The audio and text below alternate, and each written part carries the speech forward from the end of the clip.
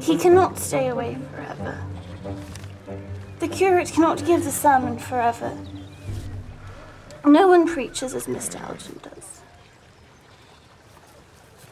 Hear this extract, Mr. House. Hear this. Enough about Mr. Elton.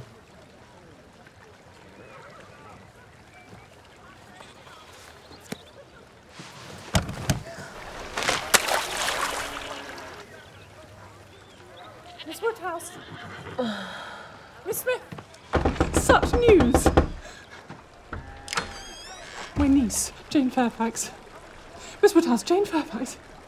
She is. Jane is surprised that she is here. Oh, do come along, we must have tea. It's too thrilling.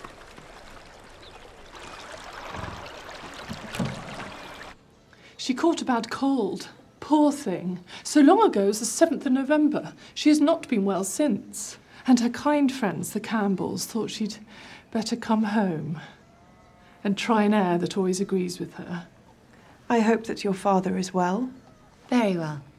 I thank you. She is very sorry to be parted from her dear friends, the Campbells, and Mrs. Dixon, and Mr. Dixon, the most amiable young man who did us so great a service at Weymouth in October. I still shudder to think what might have, if not for Mr. Dixon, with the waves and the water and the sails. Oh, such a charming man.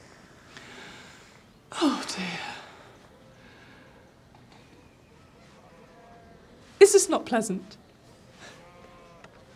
She plans to stay three months. We must have you all to Hartfield. Oh. Oh, Mother, do you hear? Miss Woodhouse has invited us to Hartfield! Mother, you must sample the tart.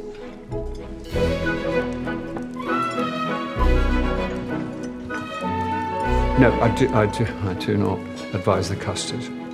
What do you say to half a glass of wine? In a tumbler of water, naturally. We shall be seeing Frank any day now, I have, I have no doubt of it. Oh, now, Jane, Mr. Frank Churchill is a man much talked about in Highbury, is he not, Miss Woodhouse?